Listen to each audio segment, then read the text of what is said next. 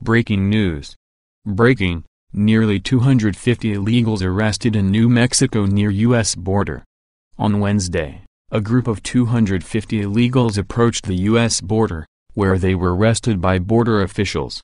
Many of the illegals were sick and needed medical attention, raising fears of potential diseases crossing the border. LifeZette reported that border agents arrested 247 illegal immigrants, many in need of medical attention, after group members turned themselves in early Wednesday.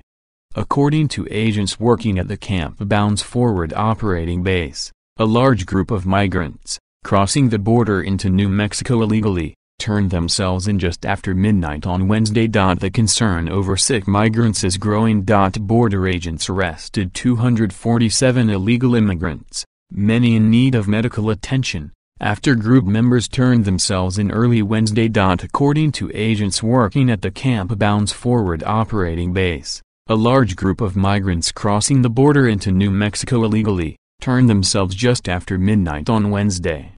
The group, made up largely of family units and unaccompanied minors from Central America, needed medical care.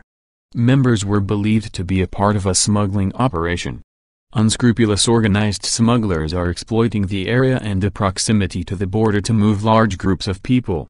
These groups of people are told where to cross and turn themselves in with smugglers never having to cross the border themselves and risk apprehension. A press release from U.S. Customs and Border Protection said. Officials have called the journey migrants take from Mexico to the U.S. dangerous and treacherous.